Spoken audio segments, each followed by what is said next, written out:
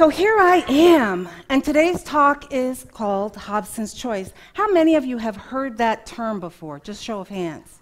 Okay, there are a couple of you, that's great. What it really means, if I distill it all the way down, it means take it or leave it, basically. Take it or leave it, Hobson's Choice. And it's derived from the life and times of Mr. Thomas Hobson.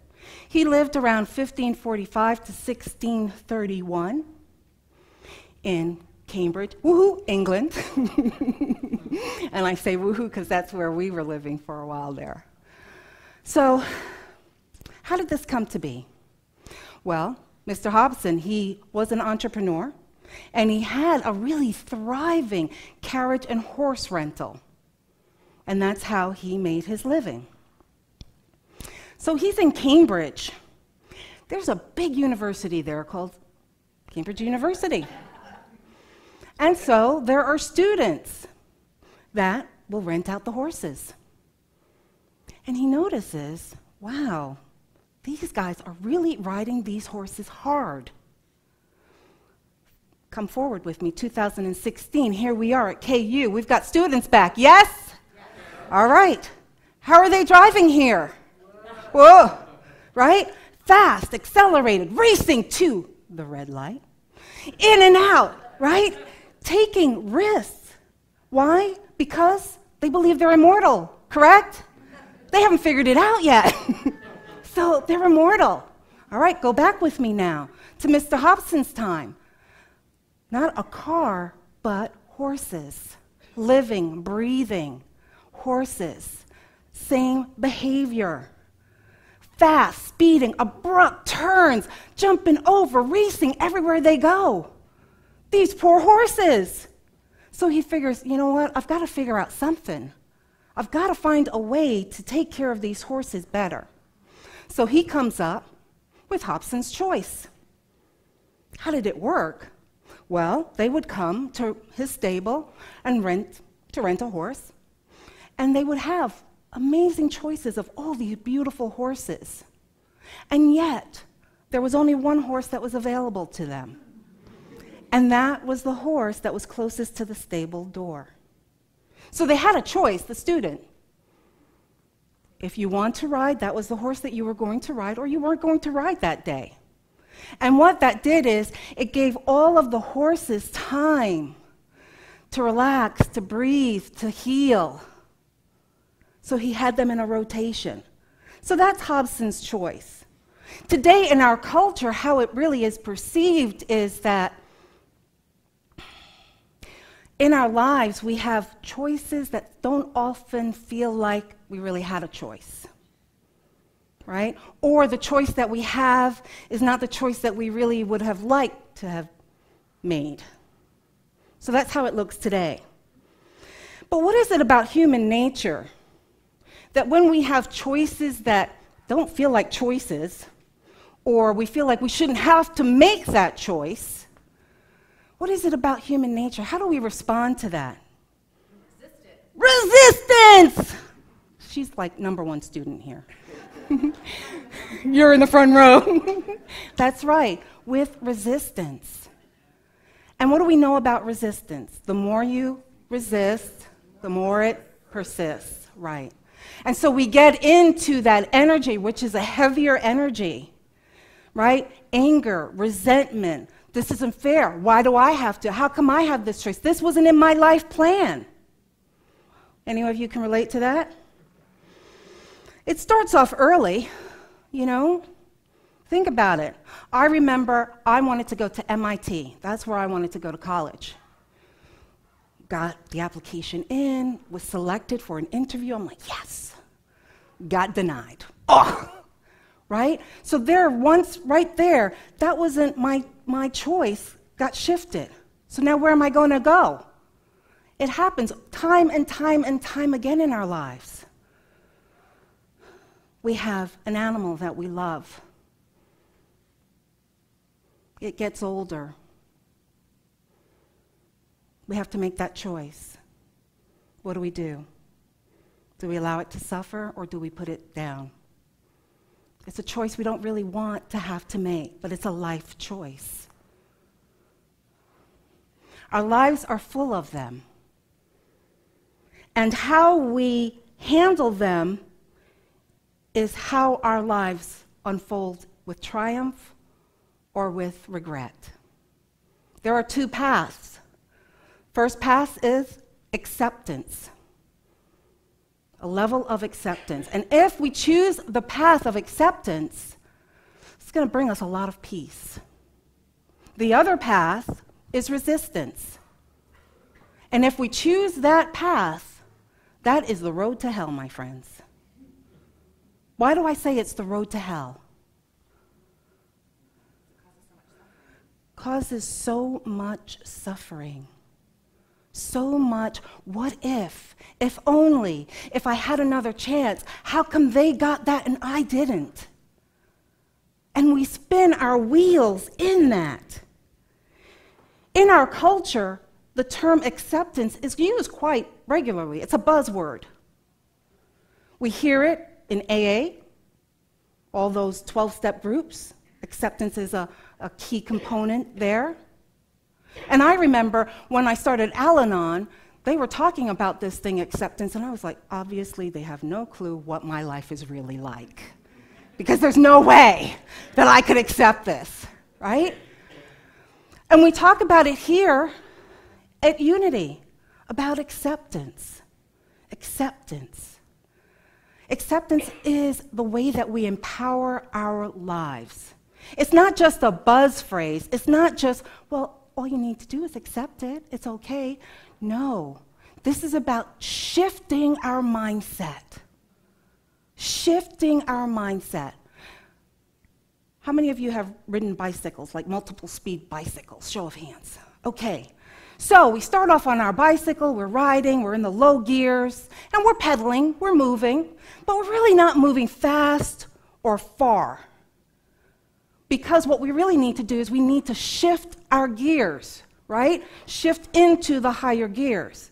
And then when we shift into the higher gears, what's happening is we're pedaling, same amount of energy, but it's easier, it's faster. We're going places now. Think of acceptance in that manner. Acceptance allows you to shift into a way of operating in the world with ease and grace without struggling, without life is so hard. No, life doesn't have to be that hard. So, acceptance really is about empowerment. That's what acceptance gives you. Now, since I'm, I'm thinking about acceptance, I'm thinking about alchemy, the alchemists. Do you remember in the medieval times? There was alchemy. What, was, what were they trying to do? Make gold, right? So they were taking this, I love her, I'm glad she's here. they were taking this lead, this heavy lead, and trying to transmute it into this precious metal of gold. This is acceptance. Acceptance transmutes what is going on in your life and flips it so that you see that it's a precious moment that is happening just for you, for your good, for your highest being. So I'm talking a lot about acceptance. Why should you believe me? you know, as unity ministers, we tend to be on the perkier side, right? When we give our minister, when we give our talks, we, we want to be inspiring. But for me, it's not just about being inspiring, it's about how do I take this out in the world? How do I live this practically? When things come up and hit me in the face, how do I transmute that into acceptance? We see it on those who have triumphant lives. One case in point that I want to bring out is what about childhood?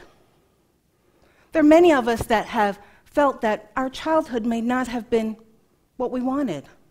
Maybe we felt gypped, it was unfair. Maybe there was some abuse, maybe neglect. Maybe there was just apathy. Now, we can spend our time in the this is so unfair. Why did this happen to me? Woe is me. I didn't deserve it. Why is God punishing me? We can do all of that behavior. And you know what we do?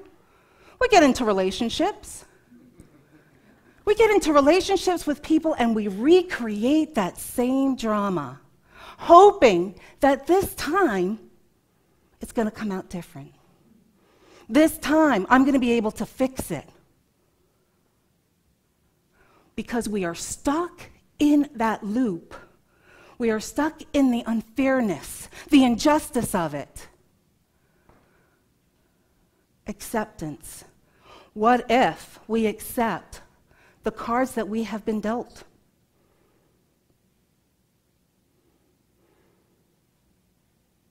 The cards that I have been dealt allow me to have chosen the path that I'm on right now, to be this impassioned, I don't even think that's a word, but I'm using it, I'm coining it. Empathic person that I am today. Gifts, my friends, gifts.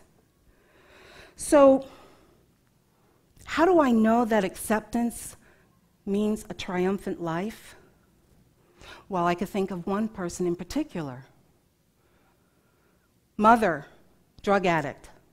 Mother, in and out of jail mother gives up rights of that child because she's not functioning. That child is discarded to someone else's care. Now, I don't know about you, but I could work that. In the area of unfairness, resentment, oh, if only I could get into those relationships, creating that drama over and over and over again. This person accepted this is the cards. This is what I was dealt. But what is my life purpose? What am I here for? What do I want to be known for? You may have seen her, Simone Biles, Olympic gymnast.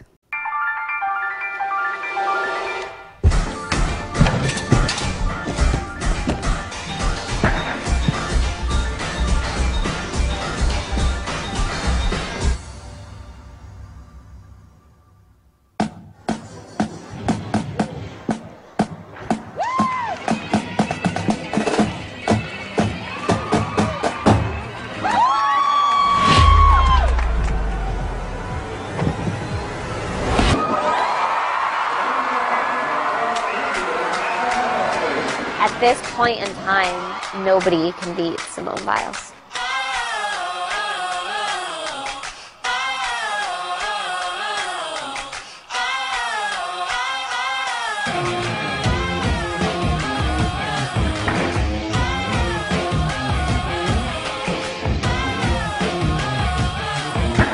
I've seen some of my guy friends try it, but they never land it, so they get really upset. Simone doesn't require a lot of run into her tumbling skills, so she can fit a longer pass onto the floor than a lot of athletes.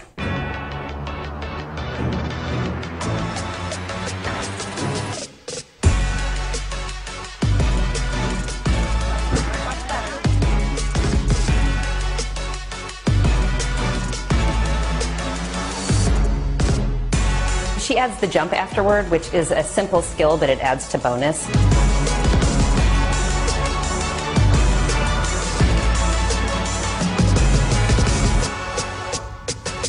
Normally, the separations between first and second place could be three tenths or five tenths, and she goes out and wins by one or two points.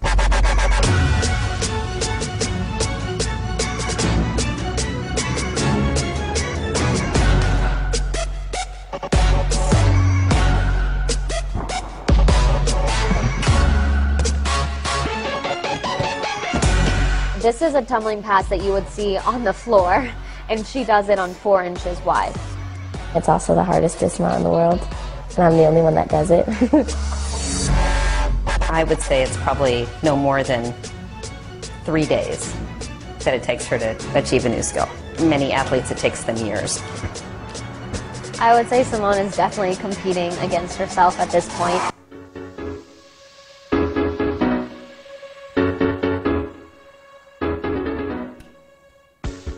Simone Biles.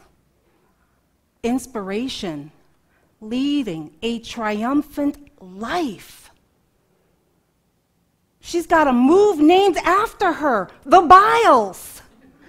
The Biles. So, how are you going to live an extraordinary life?